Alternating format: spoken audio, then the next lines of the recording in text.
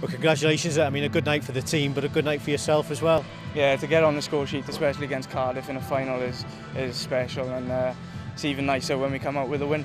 In terms of the philosophy of the club, I mean, first team, the Youth Cup this evening, whatever level, it seems to be the same th throughout the club, doesn't it?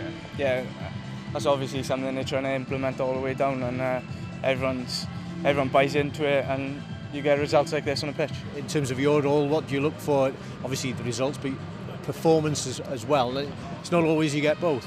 No, it's not. You're right, and, and, and I think you know the people at the club at the moment are fantastic. I mean, they're, they're very much behind the youth system.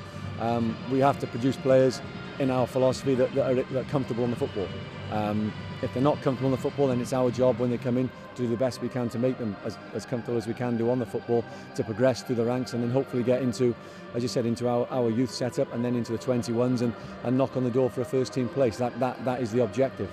And the early goal, very early on.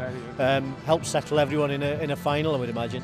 Yeah, it did. You know, as we come out, everyone's a bit on edge, but obviously with the go goal that early uh, helps the boys. What about your own performance then? You must be pretty pleased with the evening. Yeah, you know, uh, I thought a little bit poor in the first half, but obviously to come out second half, score two goals, very happy with that as a striker. Obviously to get selected to be in the Wales 21s, obviously a, a real high point in that, and hopefully I can carry on getting selected and, and move up. Welsh football's on the rise. Everyone is loving it at the minute. You can see it when when Wales play here, the crowds they're starting to get now, it's, it's brilliant and I'd love to be part of it.